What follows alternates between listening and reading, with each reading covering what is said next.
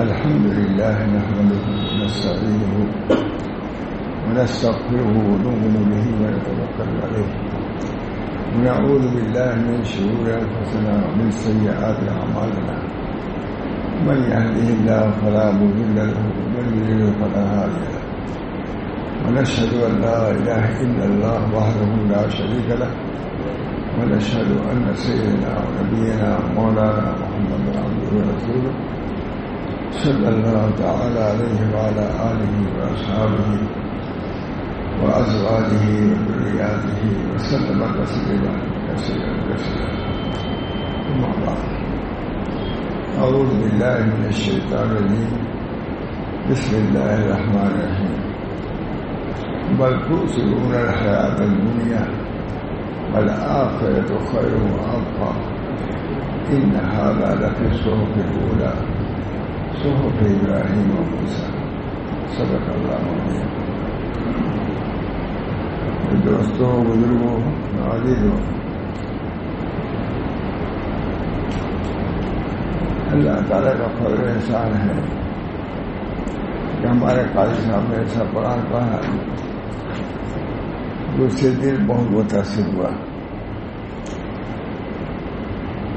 اور خیال ہو رہا تھا کہ میں بیان بھی کر سکوں گا یا نہیں۔ لیکن ہمت کر کے میں بیٹھ گیا۔ ہوں اللہ تعالیٰ دین کی، قرآن حدیث کی کچھ باتیں بیان کرنے کی توفیق دے۔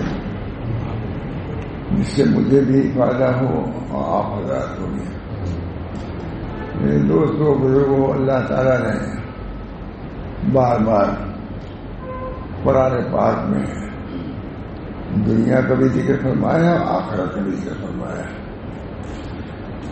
اور بار بار اس کی توضیح بھی فرمائی ہے۔ دنیا کیا ہے، آخرت کیا ہے کہ توضیح یعنی اس کو چیزہ نہیں رکھنا صاف صاف بیان دنیا یہ ہے اور آخرت یہ ہے۔ اب اس کے بعد تم کو اختیار ہے۔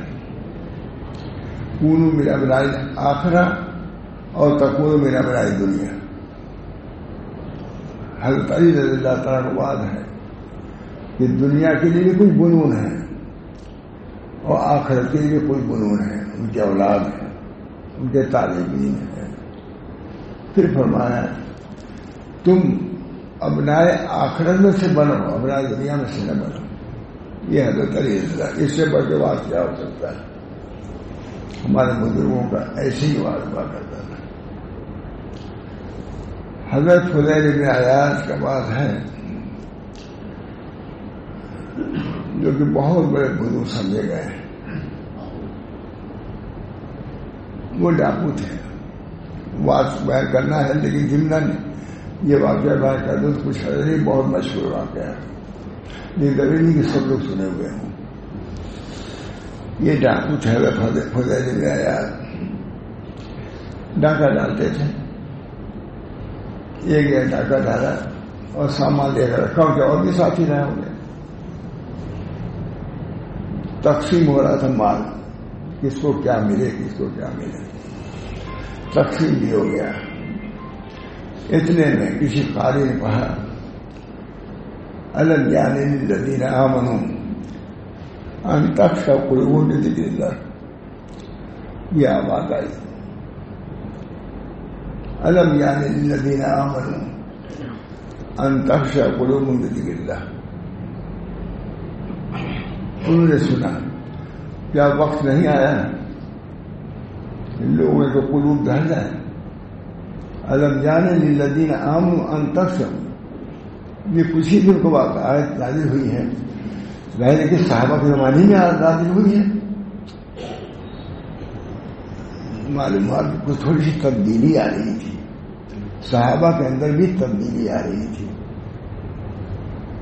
اللہ کی طرف سے تبدیل ہوئی۔ تنبیہ۔ علم یعنی للذین آمنوا ان تخشى قلوبهم لذکر اللہ کیا وقت نہیں آیا؟ کہ لوگوں کے قلوب دہل جائیں۔ علم یعنی للذین آمنوا ان تخشى قلوبهم لذکر اللہ اللہ کے ذکر کو سن کر کے دہل نہ جائیں حضرت خدیر ابن جان ڈاکے کے مادی بیٹھے ہوئے تھے۔ منتظر تھے۔ کہا، آنا وہاں آ گیا وقت پڑھے لکھے اگر خدے میں آیا، آنا وہاں آ گیا وقت فوراً توبہ کر دیا اور لوگ اس کا بھائی، میرا دل بدل گیا۔ لوگ کہتے ہیں کہ وہ نشے سے کوئی فائدہ نہیں۔ ایک آدمی بدل دیا ہم کو۔ کب کس وقت ہدایت دے دے اللہ کچھ نہیں کر سکتا۔ میں تو لوگوں سے کہتا ہوں اسٹیشن پر ہیں۔ انتظار کرتے ہیں چار بجے رات میں۔ میں نے کہا، اس وقت بھی تحریر پڑھ سکتے ہو۔ کل سے اس وقت دعا کر سکتے ہو۔ حدیث میں یہی آیا ہے کہ آخر آسمان پر اللہ نظور فرماتا ہے حلم مستقبل؟ کیا مستقبل ہے، یہ دینک مسلح بچھا کر کے دکھاؤ، تبھی ہو۔ میں کہتا اس وقت بھی اللہ سے مانگ۔ رب پھر برہم انت خیر الراحمین۔ کوئی موت نہیں۔ چل رہے ہو، ہدایت آ سکتی ہے۔ تم ادھر سے وہ تم سے غافل نہیں ہے، تم غافل ہو۔ اگر تم نے اپنے قلب کو اللہ کی طرف متوجہ کیا، اللہ تو متوجہ ہی ہے۔ ایک شیر ہے، ایک چشم زدر غافل ادا شاہ نباشی یہ شاید کی نگاہ ہے، پورا آگاہ نباشی ایک چشم زدر یہ بھی ان سے غافل نہ ہو۔ شاید کہ وہ نظر کرے اور تم آگاہ نہ ہو۔ یہ شیر بہت مشہور ہے، مولانا صوفیہ سبھی میں کہتا ہوں اس سے یہ معلوم ہوتا ہے کہ اللہ تعالیٰ کبھی ہم سے غافل رہتا ہے۔ تم ایک لمحہ کے لیے خدا کی طرف متوجہ ہو جائے اللہ تم کو نوازے گا۔ ایک چشم زدن غافل ادا شاہ، یہ دوسرا شعر ہے۔ ایک چشم زدن غافل ادا شاہ نباشد شاید کی نگاہ گناہ کا نبا اللہ تو ہر وقت تمہارے متوجہ ہے۔ تم شاید ایک لمحے کے لیے اگر متوجہ ہو جائے کامیاب ہو جاؤ گے۔ من اخرس للہ لمحہ واحد نظر جو ایک لمحے کے لیے بھی اللہ کے متوجہ یا نجات پا جائے گا۔ کہا کہ ایک لمحہ اللہ کے لیے پوری زندگی میں گزر جائے، کامیابی۔ اسی ایک لمحے کے لیے ہزاروں لاکھوں مرتبہ ذکر کیا جاتا ہے اللہ اللہ۔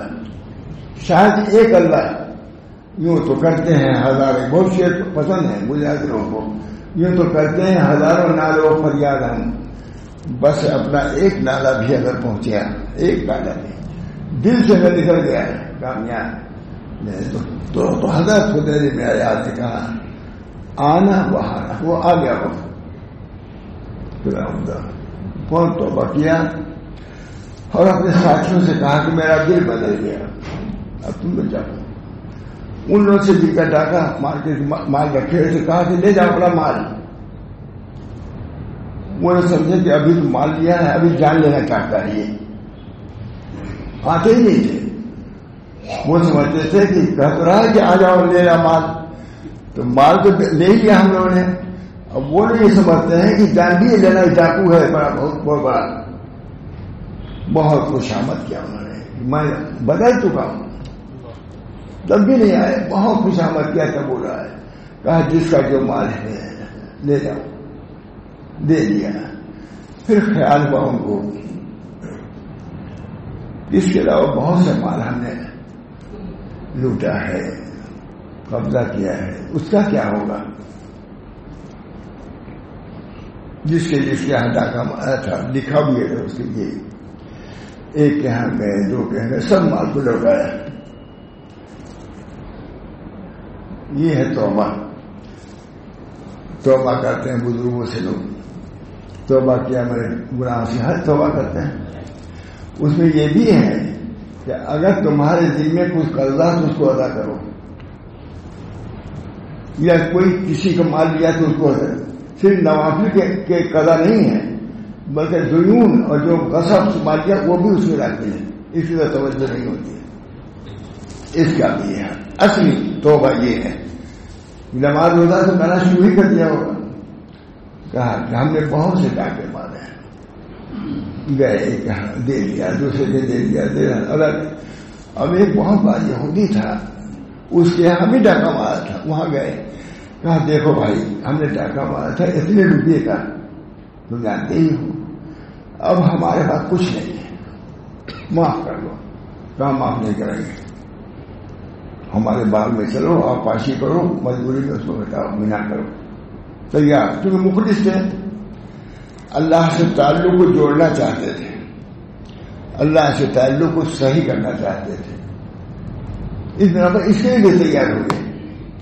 یہودی کیا ملازمت کے لیے بھی چاہیے بہت بڑے مشہور قصہ ہے مشہور تھوڑی نا۔ اس کے لیے بھی تیار ہو گئے۔ چنانچہ ملازمت اختیار کر لی انہوں نے۔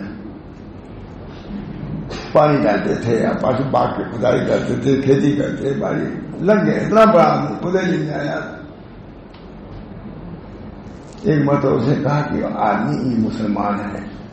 اور اسے توبہ کیا ہے۔ دیکھیں اسے توبہ سچی کیا ہے کہ نہیں؟ امتحان لیا اس نے۔ اپنے کمرے میں اسے کوئی جھولا تھا، اس میں رکھا، اینٹ پتھر رکھ دیا۔ اور کہا کہ اس کو لے آؤ۔ وہ لے آئے، اسے انہیں لیا۔ تو سب وہ ڈیرے اینٹ پتھر جو تھے، وہ سب سونا چاری ہو گئے۔ وہ اسے کہا اشد اللہ الہ الا اللہ اشد ان محمد رسول اللہ دین محمدی سچا ہے، کیونکہ ہم نے سنا ہے کہ دین محمدی کا آدمی جب توبہ کرے گا تو ایک پتھر کو چھوئے گا، تو وہ سونا چاندی ہو جائے گا۔ اور کہا، اب تم تمہاری ہم خدمت کریں گے۔ مسلمان ہو گیا۔ بہرحال یہ قصہ بہت مشہور ہے۔ اللہ تعالیٰ اپنے فضل و کرم سے صحیح توبہ ایک آم کے اندر آدمی بدل سکتا ہے۔ ایک آئے کو سن کر کے آدمی بدل سکتا ہے۔ اس بنا پر اللہ کی طرف دور لگانا ہر آن ضروری ہے۔ میرے دوست ایک نہیں ہے کہ کسی وقت اللہ غافل رہتا ہے اللہ ہر وقت ہماری سنتا ہے۔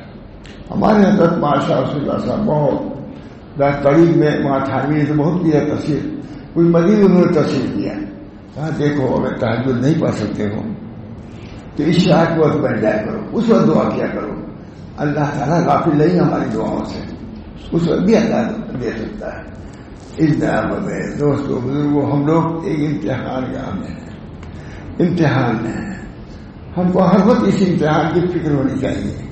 دن رات یہاں آتے ہیں، لڑکے آتے ہیں، بڑے آتے ہیں، پڑھا امتحان دینا ہے، پڑھا لے جانا ہے۔ تو امتحان یہ بھی تو ایک امتحان ہے۔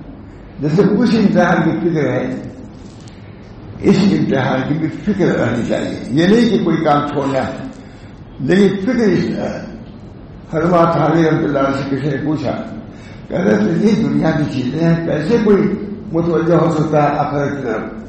بازار ہے، کھیت ہے باری یہ سب ہے۔ کہا، دیکھو، اگر حیضہ کی بیماری ہو جائے، جیسے بیماری کی بیماری ہو، تعاون کی بیماری آ جائے، تو تم دکان جاؤ گے نہیں۔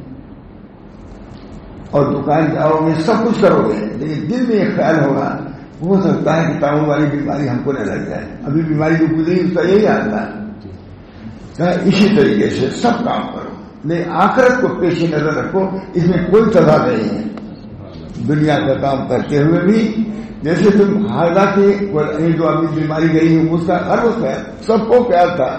کوئی بچا نہیں ہوگا۔ جیسے مولوی مولانا چلے گئے، ابھی جہاں سے ہم لوگ آ رہے ہیں مولانا یوں صاحب یہاں سے یہ تو ہوا۔ جیسے بیچارے اٹھا پٹھا کے جا رہے تھے، وہاں سے پولیس سے مجھ کو دعا کے لیے کہا۔ ہے نا ابھی بتایا بیان ہی کر کے آ رہا ہوں۔ تو کوئی ٹھیک نہیں، کسی کا کوئی ٹھیک نہیں ہے۔ اس بنا پر کسی کو مطمئن نہیں رہنا چاہیے۔ آخرت بہت بڑی چیز ہے۔ بل آخرت خیر ہوا اب کا آخرت خیر ہے اور باقی ہے۔ بار بار اللہ نے فرمایا ہے۔ دھوکے میں نہیں رکھا، پورا قرآن نے تفصیلی بیان کر دیا ہے ہے کہ دنیا بھی ہے ہمیں نے دنیا میں بنایا ہے۔ لیکن آخرت کو ترجیح دو۔ ہمارے حضرت ماشاء شدہ صاحب دیہاتی کو سمجھاتے تھے بہت مثال دے کر کے فرماتے تھے دیکھو، میں نہیں کہتا کہ دنیا چھوڑ دو، بلکہ یہ کہتا ہوں دنیا یوں رکھو، آخرت کے یوں رکھو۔ یہ سب دیہاتی لوگ سمجھاتے تھے یہ دنیا رکھو۔ اس کو تجربہ تو سے حیات دنیا بولا آخرت و خیر و ابا تم تو آخرت کو ترجیح نہیں دے رہا دنیا کو ترجیح دے رہے ہو۔ یہ ترجیح دینا ہے۔ فرماتے ہم لوگ سے سنا ہم نے۔ دیہاتی لوگ تھے۔ دیکھو، میں یہ چاہتا ہوں ہے کہ دنیا چھوڑو نہیں، لیکن دنیا یہ رکھو اور آخرت سے رکھو۔ بس تو سے دنیا بل آخرت و خیر و ابا ان نہادا رفی صحف پورا صحف ابراہیم و موسا میرے دوستو، آخرت کی فکر۔ ہم سبھی لوگوں پیش نظر رکھنے کی ضرورت ہے۔ صاحب کرام میں ذریعے سے غفلت بھی نہیں کر سکتے۔ تھوڑی سی کمی ہوئی ہوگی، آج کا دل جی ہوئی کیا اب یہ آئے کے مساق ہم نہیں ہو سکتے؟ بدل ہو رہا ہے الم یعنی آمن ان تخشا قلوب ہو اللہ۔ اللہ تعالیٰ نے نازل، قرآن نازل کیا ہے۔ اللہ تعالیٰ نے حدیثیں ہمارے اندر رکھا ہے۔ بزرگوں سب سب تذکیر ہی تذکیر ہے واضح واضح ہے جس کتاب کو پڑھیے بزرگ کی اثر ہوتا ہے۔ حدیث پڑھیے اثر ہوتا ہے۔ آج کا کیا پوچھنا ہے؟ اس آیات جو اللہ نے ہمارے اندر رکھی اس سے متعد ہونا، اس سے متاثر ہونا ہم سب لوگوں کے ضروری ہے۔ اللہ تعالیٰ نصیحت ہے۔ پورا قرآن نصیحت ہے۔ ان نصیحت کو پیش نظر رکھنا سب کے لیے ضروری ہے۔ اللہ تعالیٰ ہم کو بھی توفیع دے، آپ کو بھی توفیع دے، ہمارے بزرگ دین۔ پورا کام اسی پر کیا۔ جو کام زیادہ مشہور ہوا، حضرت ماشاء کیا تھا کہ تمام سردر نے آخر کو پیش نظر رکھا۔ وہاں کے لوگوں کو آخر کو پیش نظر رکھانے کی کوشش کیا اللہ تعالیٰ ہم سب لوگوں کو اسی بل آخر تو خیر آپ کا ان نہ نفی صحف اولا صحف ابراہیم موسا والباقیات الصالحات. خیر عند رب ثوابوں وخیر عمرہ والباقیات الصالحات.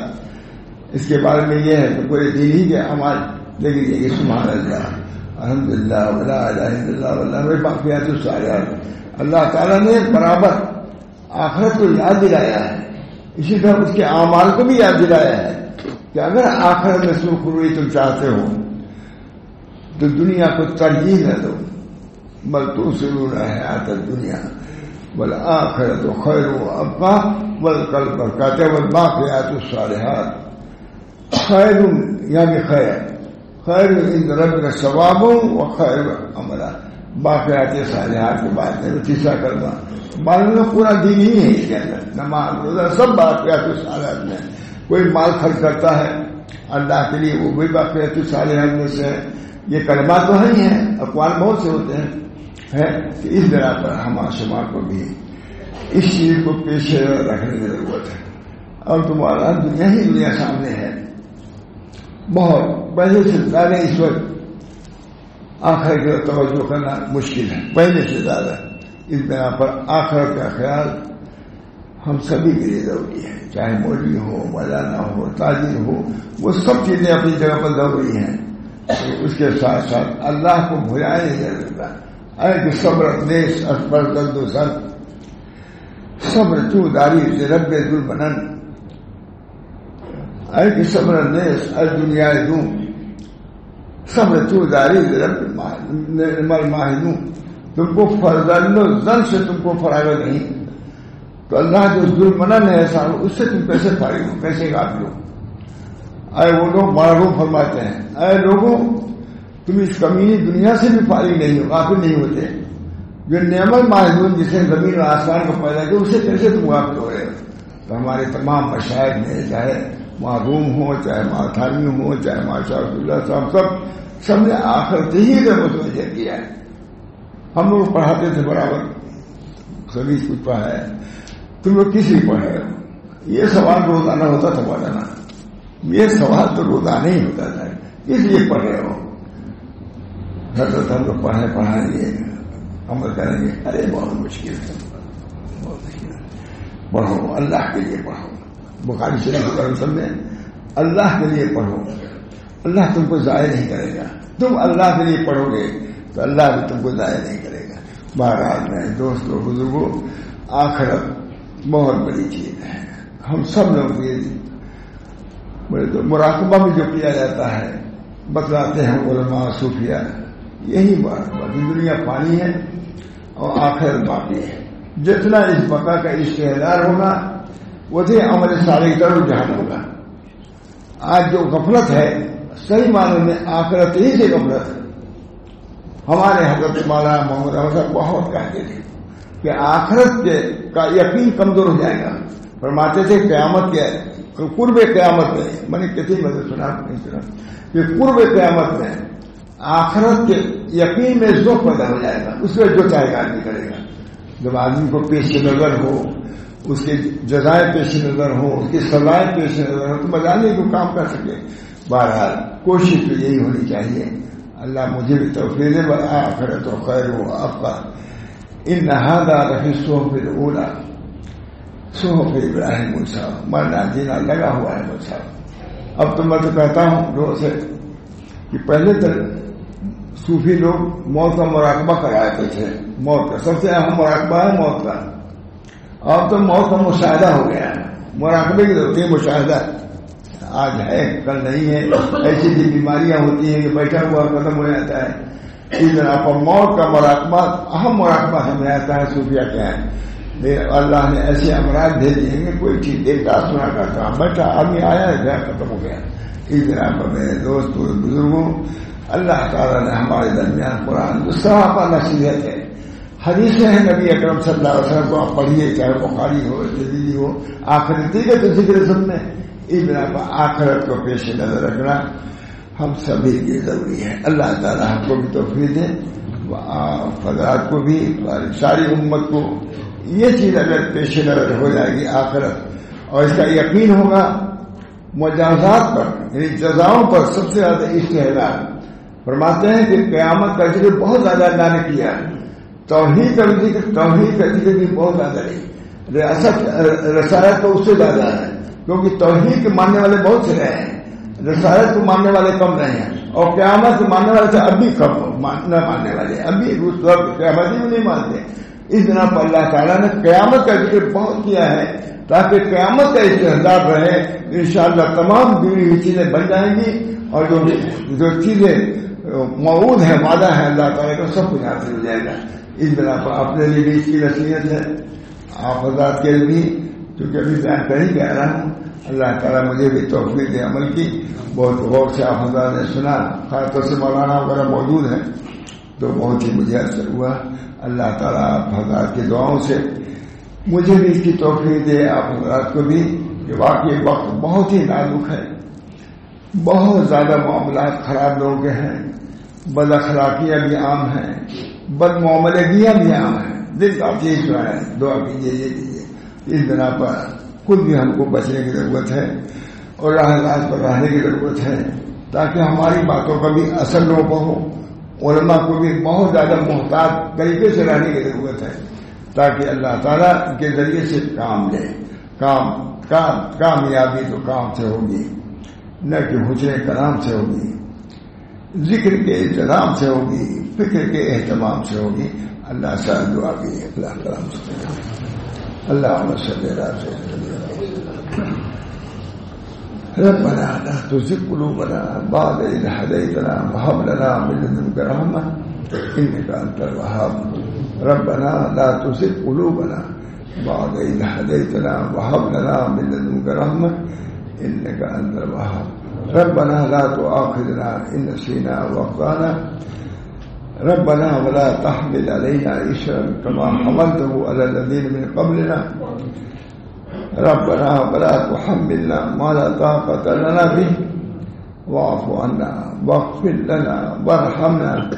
أنت مولانا فانصرنا على القوم الكافرين. ربنا تقبل منا إنك أنت السميع العليم. برحمتك يا أرحم الراحمين. بحرمة سيدنا النبي الكريم صلى الله تعالى عليه وسلم.